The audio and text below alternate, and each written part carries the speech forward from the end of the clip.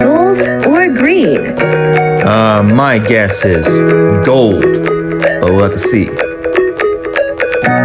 Is it gold?